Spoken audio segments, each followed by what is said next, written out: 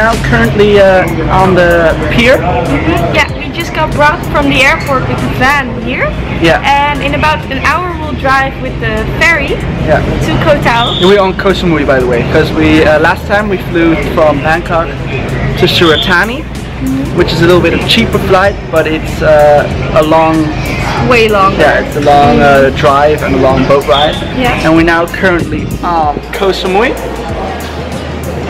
And yeah, they will be going with the boat to Koh Tao. It's like a two-hour boat ride, and I'm really looking forward to Koh Tao. Me too.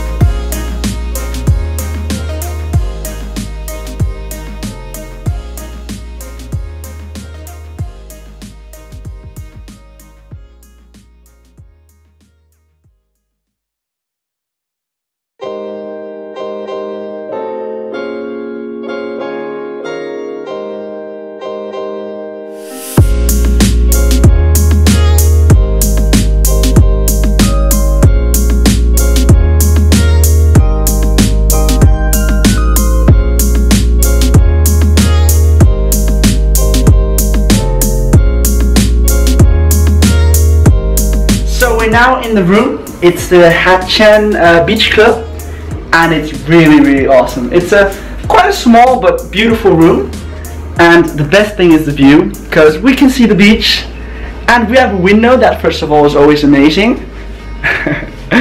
and here, if it focuses, we can see the beach, and it's really, really beautiful.